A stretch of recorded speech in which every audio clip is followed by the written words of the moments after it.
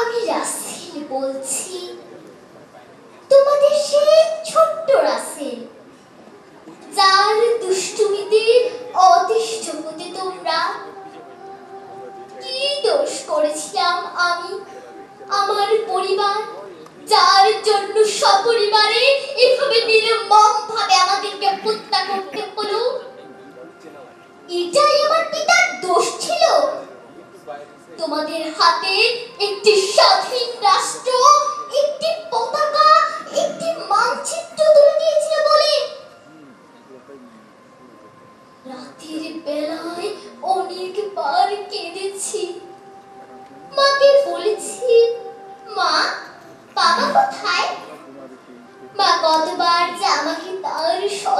নয়নে আঁচলে মুখ লুকিয়ে সত্যের মতো করে মিথ্যে কথাগুলো বলতো।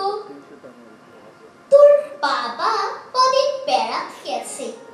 এই তো কালই এসে পড়বে। বাবা তখন জেলে। তখন আমি কেঁদে কেঁদে ঘুমিয়ে পড়তাম। আমি আমার বাবার আদর স্নেহ থেকেও বঞ্চিত হয়েছিলাম। বাবা তোমাদেরকে এই দেশকে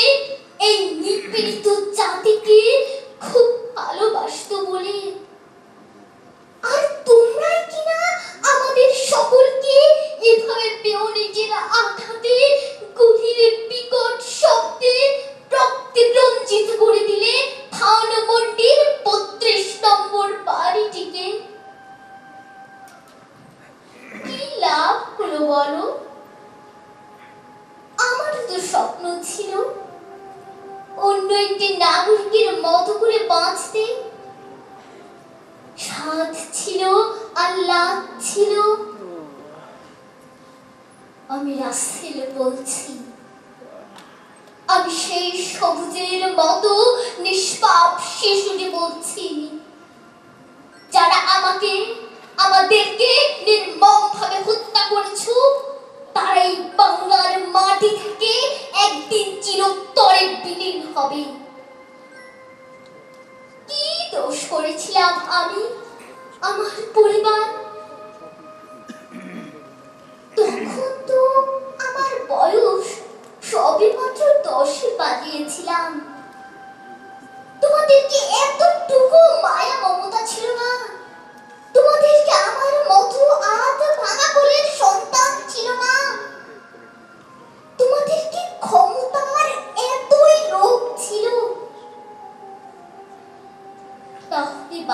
বলে দিতাম। বাবাকে তো কোনোদিন তেমন করে পাইনি। তাতে কি হয়েছে?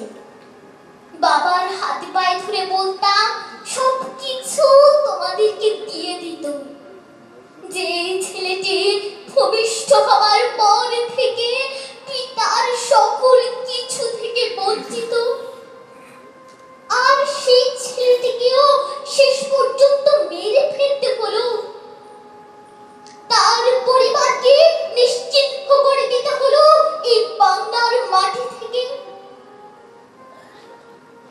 আমি রাসেল বলছি।